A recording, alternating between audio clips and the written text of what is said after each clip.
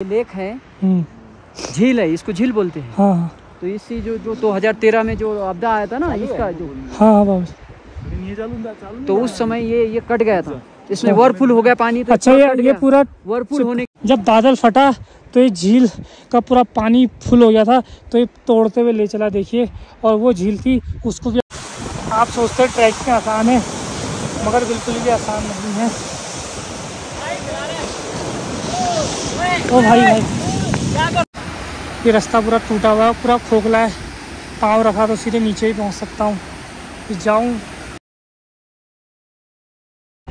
Hello guys good morning Har Har Mahadev. तो आज हम जा रहे थे, देखिए वासुकी ताल। देखिए टॉप पे, ये टॉप पे जो पहाड़ी है, वहाँ पे जा रहे थे। नौ किलोमीटर का ट्रैक है। तो अभी हो चुके हैं, बारह बज चुके हैं और ऊपर का क्लाइमेट काफ़ी ख़राब हो चुका है। तो हमने प्लान कर लिया कैंसिल तो आज हम निकल रहे हैं जोरोवर लेक। तो भैया, ये वही लेक है जो आपदा में, जो इसका पानी पूरा भर चुका था और बादल फटा तो पूरा बह गया था। तो अभी हम जोरोवर लेक चल रहे हैं तो आपको दिखाते हैं कैसी लेक है क्या क्या सीन है। तो गैस बने रहिए ब्लॉग में, आपको दिखाते हैं अपडेट और यहाँ हम जाएँगे कल।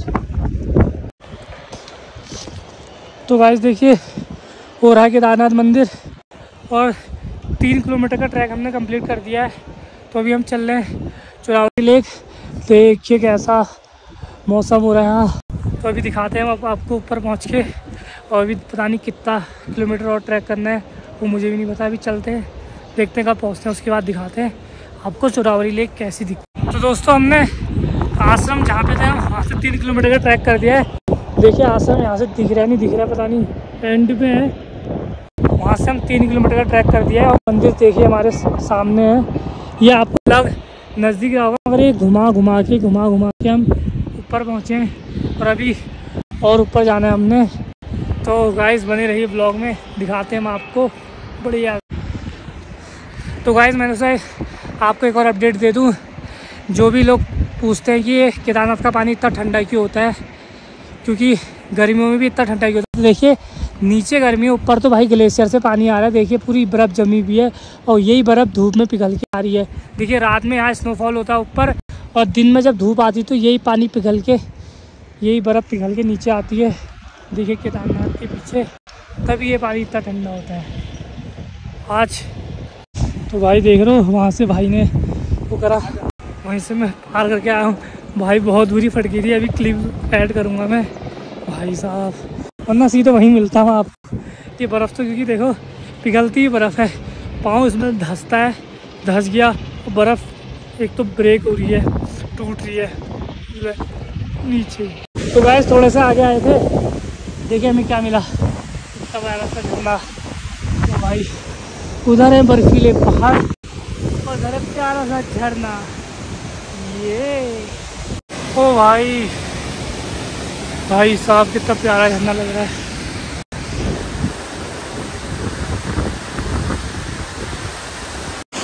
ये वाटरफॉल से हम ले चलते हैं आपको इससे ही प्यारी लोकेशन में तो आपको मज़ा आने वाला है इस ब्लॉग में काफ़ी। तो ये ब्लॉग स्किप मत करना, पूरा देखना, काफ़ी मज़ा आने वाला है आपको इस ट्रिप में। देखिए, हम आपको कभी बर्फीले पहाड़ दिखाएँगे कई प्यारे प्यारे झरने कभी कुछ मतलब अमेजिंग अमेजिंग सी चीज़ें दिखाएँगे। तो भाई देखिए, एक चैलेंज और आ चुका है से चढ़ना है यहाँ से रास्ता ही नहीं है भैया। तो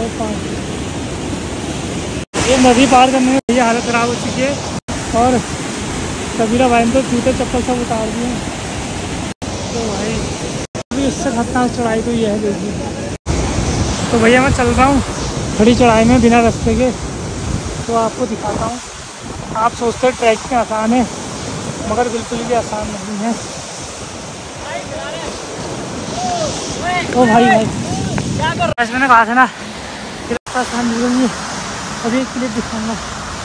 मरते मरते बचाओ। लिटरली और चैलेंज आ चुका है कि देखिए, ये रास्ता पूरा टूटा हुआ है, पूरा खोखला है। पाँव रखा तो सीधे नीचे ही पहुँच सकता हूँ कि जाऊँ या नहीं। चलो मैं लाइव चल के दिखा देता हूँ। डर तो काफ़ी लग रही है। मैं पहाड़ी पकड़ के चल रहा हूँ, देख लो। भाई। अब वो देखिए। अरे तो अब तो रास्ता ही है। वो देखिए उधर गैस मज़ाक मज़ाक में हम देखिए कैसे व्यू में आ चुके हैं। इतने रिस्की रिस्की रास्तों को पार करके। देखिए, ऐसे रास्तों से हम चढ़ के आए और फाइनली देखिए। गैस देखिए, इस रास्ते से हम चढ़ के आ रहे हैं। बहुत ज़्यादा हाथ खराब हो चुकी अभी या दो किलोमीटर ऊपर है? और जो अभी भैया देखिए, वो जा रहे हैं। वगैरह आप लेट हो चुके हैं। क्योंकि यहाँ ऊपर क्या होता है, जैसे नीचे बारिश होगी तो यहाँ ऊपर स्नोफॉल होगी। अगर नीचे स्नोफॉल हो गई तो ऊपर फिर बचने या ना बचने की कोई चांसेस नहीं, क्योंकि बहुत माहौल बिगड़ जाता है। क्योंकि आप खुद देखिए ना, कितने ऊपर केदारनाथ है। उससे भी हम चार पाँच छः किलोमीटर ऊपर जा रहे हैं। वो भी है। ये ऐसे ग्लेशियर में। तो भैया, कुछ भी हो सकता है। दिखाते हैं आपको भी फिर एक और चैलेंज आ चुका है। अरे यार। भाई। पता चला कि नीचे चल दोस्तों, देखिए, फिर एक चैलेंज मिल चुका है हमें। ये देखिए, नीचे खाई है। कैसे चल रहे हैं हम? वो हमें ही पता है। अरे भाई। ये देखिए, फिसल गया था अभी। ओ भाई। फाइनली हाँ भाई। मतलब रिस्की रिस्की रिस्की हद से ज़्यादा। भाई साहब, देख लो यार। सीधे वहीं मिलता हूँ। ये यहाँ दोस्तों, ये वही चोरावेरी लेक है जिसने पूरा तहस नहस कर दिया था। दो हज़ार तेरह की आपदा में। देखिए पूरा पहाड़ और ये आर्मी कैंप पूरी निशानी लेक थी, ये फटी उसके बाद देखिए वो इन पहाड़ों के बीच में ही पानी होता है। तो जब यहाँ फटा तो पूरे पहाड़ों के बीच में जितना पानी फंसा था बर्फ़ भी बर्फ़ भी पानी के रूप में बदलते गई और पूरा बहते ले चली और पूरा केदारनाथ और पूरा डुबा दिया। देखिए दोस्तों, केदारनाथ यहाँ से दिख रहा है। पूरा तहस नहस कर दिया। पाँच किलोमीटर का ट्रैक करने के बाद पहुँचे हम यहाँ। अभी और ऊपर जाते क्या पता और क्लियर दिख जाए। देखिए दोस्तों, सबसे टॉप पे पहुँच चुके हैं हम फाइनली अब दिखाते हैं आपको चोरावेली लेक जो क्लियर यहाँ से दिखेगी। और बरसात भी शुरू हो चुकी है, ठंड भी बहुत है, और सांस लेने में भी दिक्कत हो रही है। ऑक्सीजन की कमी है यहाँ। ये देखिए। ये देखिए। ये थी वो लेक भैया जी ये थी सुविधा के साथ आइए बोलना इसमें और अपने सुविधा बाबा जी इसमें भरा था पूरा पानी? हाँ, हाँ ये जो है ये कटा है ना ये वो चिपका हुआ था ऐसा। पूरा पूरा ऐसा एक ये चिपका हुआ था। हाँ, इसमें पानी भरा हुआ इसमें यही झील है यही झील से यही झील है। हाँ। वो लेक है यही झील से होता है। अच्छा अच्छा। लेक है हम्म, झील है इसको झील बोलते हैं। हाँ हाँ। तो इसी जो जो 2013 में जो आपदा आया था ना इसका जो हाँ हाँ बाबा जी। तो उस समय ये ये कट गया था। इसमें वर्फुल हो गया पानी तो अच्छा ये ये पूरा वर्फुल होने के पानी कट गया तो उससे ये यहाँ पे अच्छा। उधर वाली एक झील है। हाँ, वो झील से भी आपदा आई थी तो वो दोनों मिल के अच्छा इससे अच्छा। ज़्यादा प्रभाव अच्छा पहले यहाँ भी पानी भरा था ये पूरा ये भरा ही रहता है अच्छा ये भरे रहता था। कट गया ना अभी। अच्छा अब कट गया और एक झील और थी। उधर वाली। तो दोस्तों बाबा जी ने तो बताया कि ये जो झील थी इसमें पूरा पानी भरा रहता था। और जो पहाड़ था, ये आपस में मतलब अटैच था इस पूरा चिपका हुआ था। यहाँ पानी भरा था, ये पूरी झील भरी रहती थी हमेशा। और एक झील उधर थी, वो भी पूरी भरी रहती थी। मैंने इससे पहले आपको दिखाई। तो ये हुआ कि जब बादल फटा तो ये झील का पूरा पानी फुल हो गया था। तो ये तोड़ते हुए ले चला, देखिए। और वो झील थी, उसको भी अपने साथ लेते चला। पहाड़ का जो पानी था, वो भी लेते चला, जो दो हज़ार तेरह में आपदा आई थी। और पूरा तहस नहस कर दिया केदारनाथ को। पूरा तहस नहस।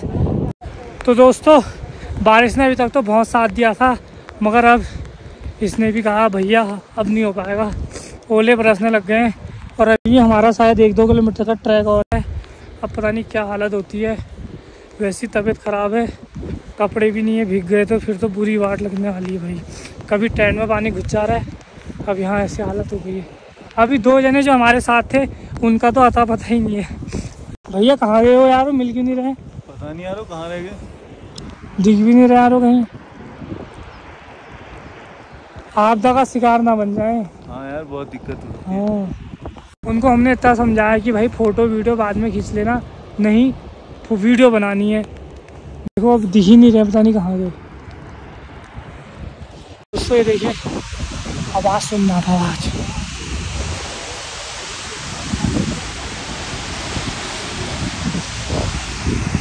देखिए जैसे मौसम बिगड़ा पानी का भाव भी तेज़ हो चुका है।